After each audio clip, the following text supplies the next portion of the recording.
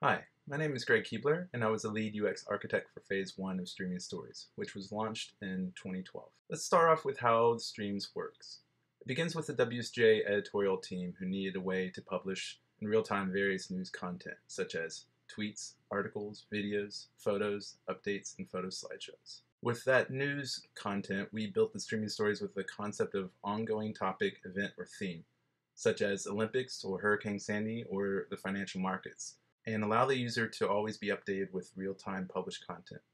We built streaming stories with a WordPress CMS that allows a small and collaborative WSJ editorial teams to hook in automated feeds through their Twitter accounts so they can report live in the field, but also through the publications platform to aggregate news content to the stream both automatically and manually.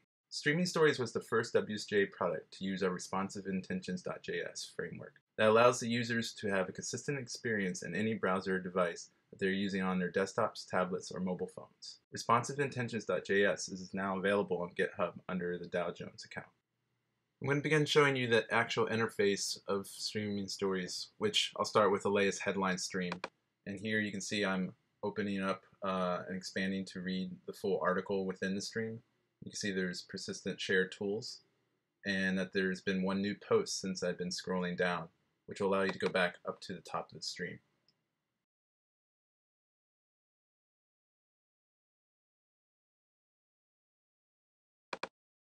Here we have a slideshow that you can click through various images. Now I'll show you how um, you can take the, the URL and share it. It has a tiny URL so that each piece of the uh, content of the stream is search optimized you can see how you can go into midstream and that that particular content is at the top of the stream. And of course, you can reload the, the topmost post and continue the, your stream experience. You can also visit the original article. So the stream is really a way to pipe the users back to the original sources. You can also use the up and down arrow keys on, uh, on your keyboard to navigate through the stream and enter to expand articles. So you can control the stream without uh, even using the mouse if you so desired.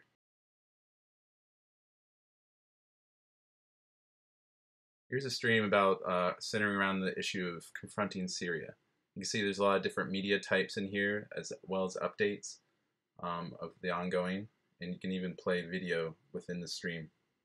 The stream also supports live video feeds, which usually we have uh, the modules located under the stream name in the left rail so that it's always persistent and in view while you're navigating through the stream so you're always constantly updated with the media. Uh, this particular stream does not have a live video right now. Here is another stream, it's the Markets Pulse stream, which is everything to do about the markets.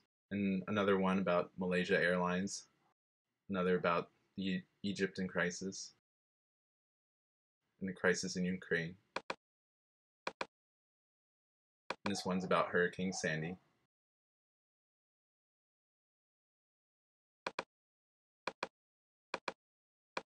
And this is the world stream, which is really all the videos aggregated from the video um, website. It's a way to navigate through um, the various video feeds and, uh, and group them by the categories or issues. You can also share through, twi uh, through Twitter.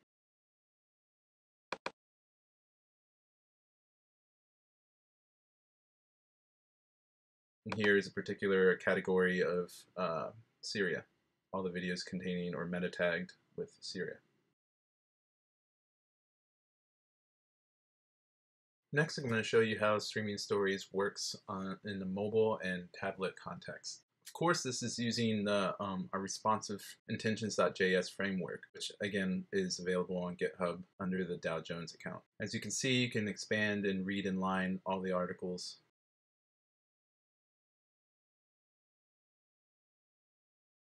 You can also save a particular stream to your home screen so that you always have access to it as pretty much acts as an app. And here's the world stream and how video interacts on mobile and tablet.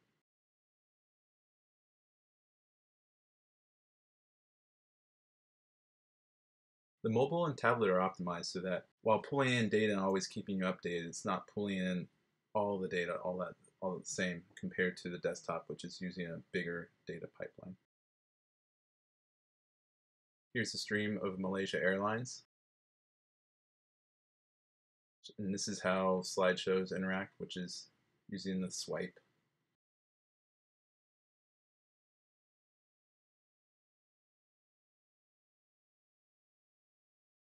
Thank you for watching my video. And again, I was the lead UX architect for Streaming Stories. More information can be found on my website.